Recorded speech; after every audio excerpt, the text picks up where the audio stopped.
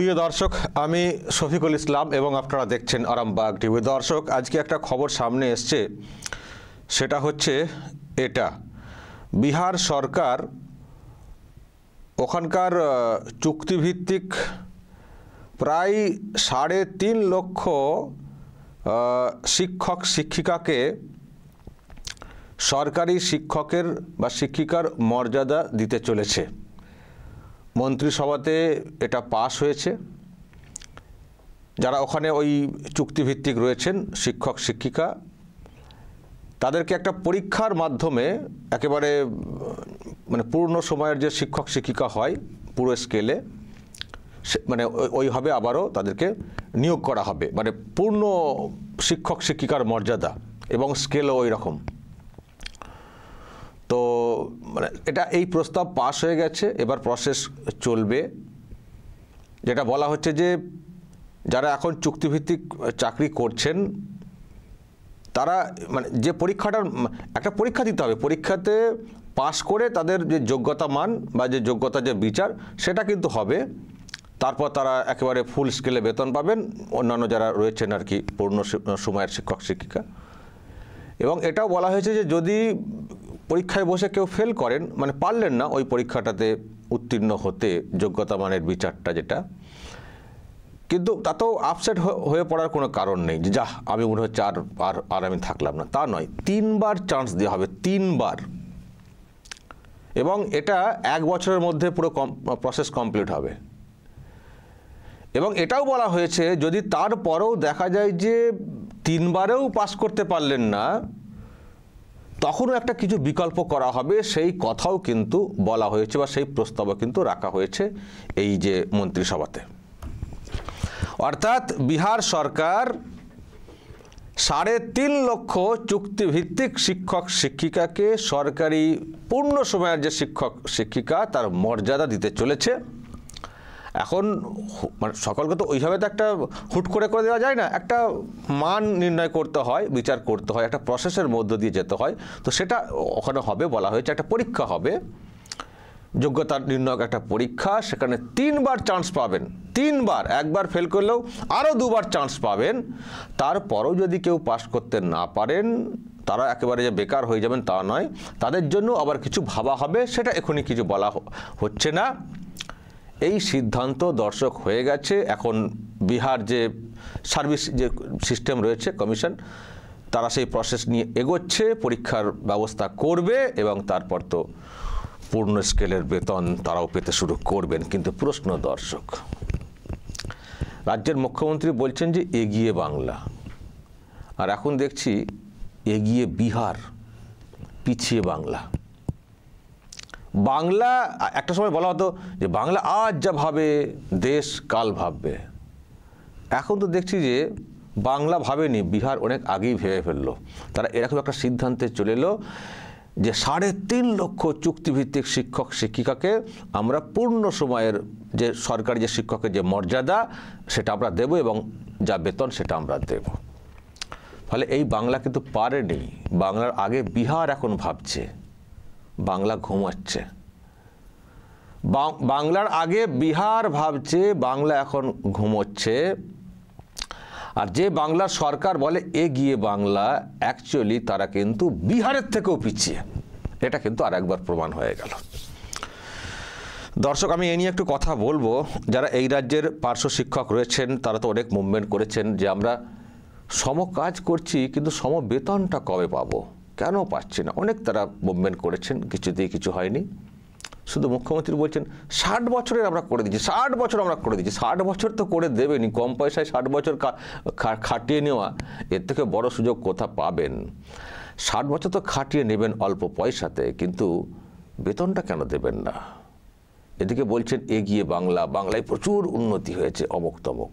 কিন্তু কেন খাটিয়ে বেতনটা কেন দেবেন না? খাটিয়ে বেতন দেওয়ার কথা বললেই বলা হচ্ছে সরকারের টাকা নেই, সরকারের টাকা নেই। কেন্দ্র দিচ্ছে না। কিন্তু দর্শক, ভালো করে লক্ষ্য করবেন, আমি অনেকবার বলেছি, সরকারের টাকা নেই, কিন্তু শাসক দলটার টাকার কিন্তু কোনো অভাব নেই। দেখবেন, বিভিন্ন ক্ষেত্রে দেখবেন, একটা ভোট হোক না, পঞ্চায়েতের ভোট হোক না দেখেছেন তো? যে, এই যে ভোট আসছে, দেখবেন, টাকা ওড়াবে মানে এই শাসক টাকা ওড়াবে, দেখবেন। তাই তো প্রশ্ন, সরকারটা টাকা নেই, সরকারটা দেউলিয়া, সবসময় নাকে কাঁদছে আর যারা সরকারটা চালাচ্ছে, সেই দল, সেই দলের নেতা নেত্রীদের টাকার পয়সার কোনো অভাব নেই। কোনো অভাব নেই। এটাই দর্শক একটা বিরাট রহস্যের। আমি কথা বলব, যারা এখানে পার্শ্ব শিক্ষক হিসেবে রয়েছেন, যারা মুভমেন্ট করছেন, তাদের কাছে এই খবরটা কেমন খবর, তারা, তাদের, তারা এবার কী বলবেন, এই খবরটা দেখে আমার সঙ্গে এই মুহূর্তে রয়েছেন প্যারা টিচার যে বিভিন্ন সংগঠন রয়েছে, তাদের মধ্যে একজন কর্মকর্তা আর কি ভগীরথ ঘোষ আমার সঙ্গে এই মুহূর্তে রয়েছেন। ভগীরথ আপনাকে প্রথমে আরামবাগ টিভির তরফ থেকে স্বাগত জানাই। আচ্ছা আগে বলুন তো আপনাদের যে মঞ্চটা রয়েছে সেই মঞ্চের আপনি কি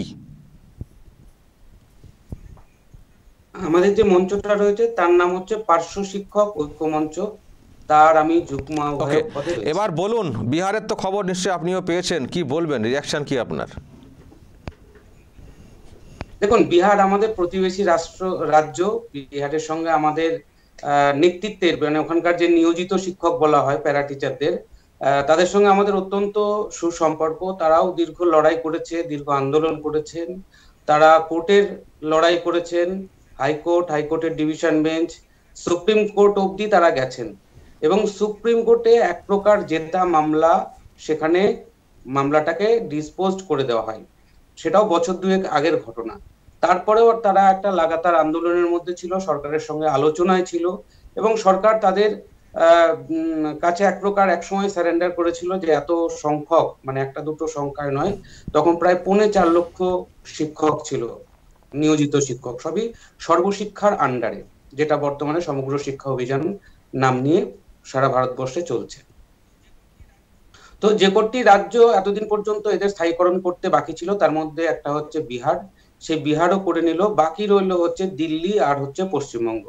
দিল্লিতে এই মুহূর্তে একজন পার্শ্ব শিক্ষকের বেতন প্রায় পঞ্চান্ন হাজার। আর প্রাইমারি সেকশনে যে সমস্ত প্যারাটিচাররা রয়েছে, তাদের উনপঞ্চাশ হাজার টাকা বেতন। সেখানে দাঁড়িয়ে পশ্চিমবঙ্গের পার্শ্ব শিক্ষকরা দু হাজার চার সালে নিয়োজিত হয়েছে প্রথম যেটা আজ থেকে প্রায় কুড়ি বছর আগে। তো এখন পর্যন্ত আমাদের বেতন কুড়ি হাজারের অর্ধেকও হয়নি। কুড়ি বছর ধরে আমরা স্কুলের আঙিনায় সমস্ত রকমের কাজ, একজন সহকারী শিক্ষক যা যা কাজ করে, পার্শ্ব শিক্ষকরাও তার থেকে অনেক বেশি কাজ করে বরং কম করে না। তার কারণ হচ্ছে কেন বেশি কাজ করে বলি? আমরা ঠিক যেরকম দিন আমাদের ওয়ার্কিং ডেজ সেখানে আমরা ছাত্রছাত্রীদের খাতা দেখা, পরীক্ষা নেওয়া, তাদের পঠন পাঠন করা, একদম মূল স্ট্রিমের যে কাজ, সমস্ত কাজ আমরা করি।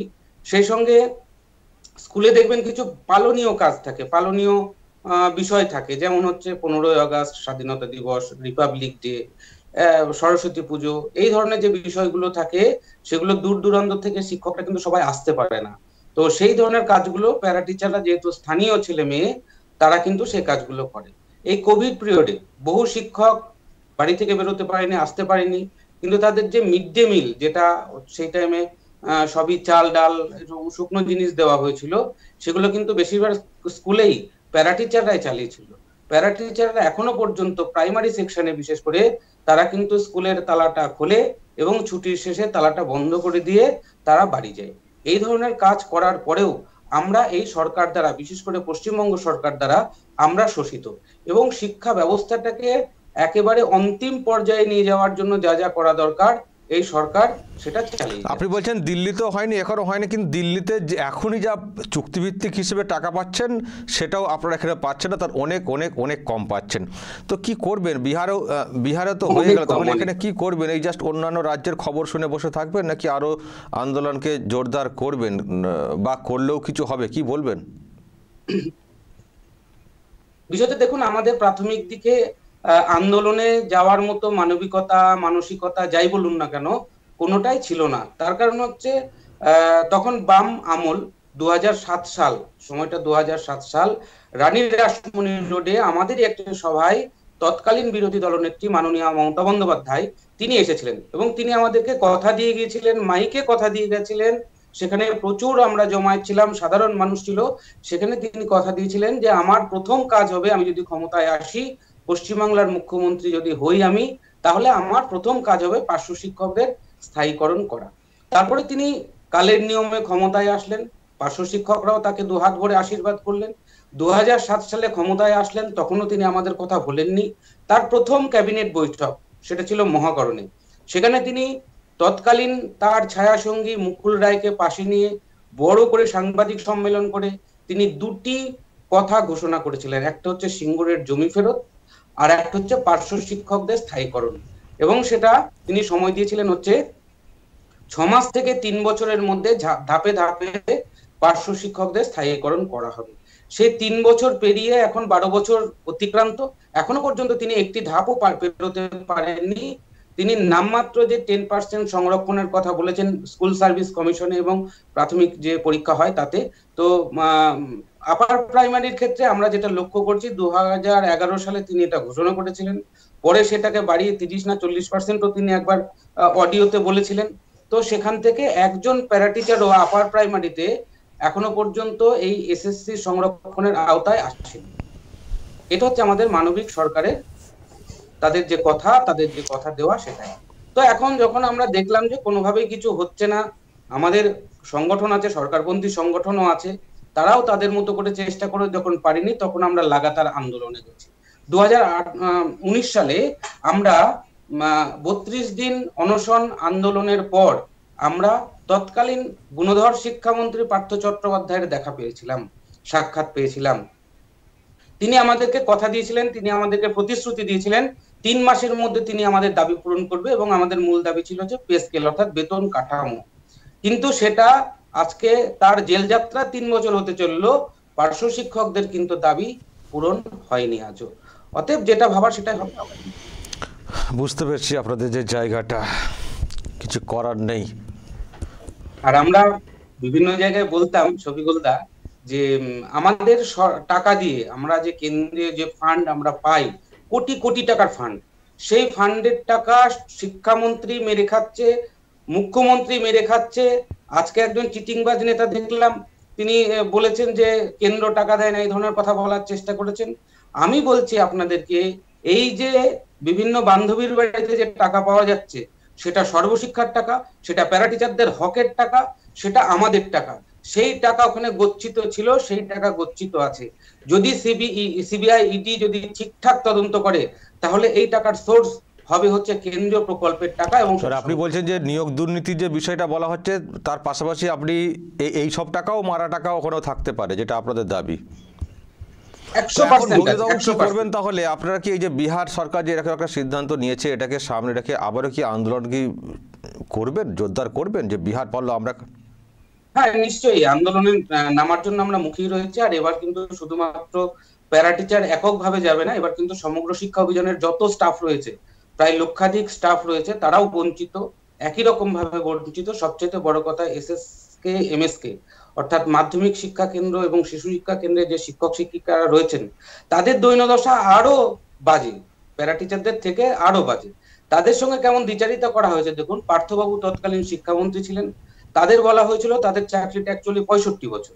বয়স পর্যন্ত তারা চাকরি করতে পারে তাদেরকে বলা হলো যে তোমরা ষাট বছরের অপশনটা যদি নাও, তাহলে তোমাদের প্যারা টিচার স্ট্যাটাস দেওয়া হবে। মানে প্যারা টিচারদের বিরাট বড় স্ট্যাটাস তো সেই স্ট্যাটাস দেওয়া হবে বলে তাদেরকে সিক্সটি ইয়ার্স এর মধ্যে নিয়ে আসা হলো। তাদের জীবন থেকে পাঁচটা বছরকে শেষ করে দেওয়া হলো। অথচ তাদেরকে কোনো স্ট্যাটাসও দেওয়া হলো না, কোনো কিছু দেওয়া নেই বিপেও দেওয়া হলো না আজ পর্যন্ত। তাদের বেতন পর্যন্ত বাড়ানো হলো। এটা হচ্ছে ন্যাক্কারজনক সরকারের ওকে ওকে। কার্যকলাপ। কি বলতে হবে বলতে। হবে চুপ করে? থাকলে হবে না। অবশ্যই আপনাদের মুভমেন্ট আপনারা করবেন আমরাও সেটাকে সামনে আনার চেষ্টা করব। কথা বলতে হবে বেশি বেশি দিন এইভাবে চলতে পারে না। হয় কর কর- করো না হয় দূর হটো এটাই তো আমাদের বল বক্তব্য। ভালো থাকবেন ভগীরথ ঘোষ। বিহারের খবরটা শুনে ভালো লাগল। যে সরকারি চলুক বিহারে যে সরকারি চলুক বিহারে যখন মানুষের কাজের জন্য এরকম কিছু উদ্যোগ নেয় তাকে অবশ্যই আমরা প্রশংসা করি। ভালো থাকবেন। দর্শক শুনলেন ভগীরথ ঘোষ, প্যারা টিচার, এই বাংলার কি বলছেন, কি অভিজ্ঞতা, এবং অনেক সব তথ্য আপনারা জানতে পারলেন। এবার অন্যান্য রাজ্যে এখনও হয়তো চুক্তিভিত্তিক বিষয় রয়েছে, কিন্তু বেতন এই রকম নয়। এই বেতন মেরে মেরে সামান্য পয়সা ছুঁয়ে ছুঁয়ে দেওয়া এরকম নয়। সব জায়গাতেই, বুঝতে পারছেন তো, সব জায়গাতেই কাট কাট কাট কাট মানে এরকম সব অভিযোগ আসছে সামনে। দর্শক কি বলবেন? যদি এইসব নিয়ে আপনাদের কিছু বলার থাকে, অবশ্যই বলবেন কমেন্ট বক্সে এবং এনাদের কি করা উচিত সেটাও যদি কোনো সাজেশন থাকে সেটাও বলবেন এবং নজর রাখবেন আরামবাগ টিভিতে।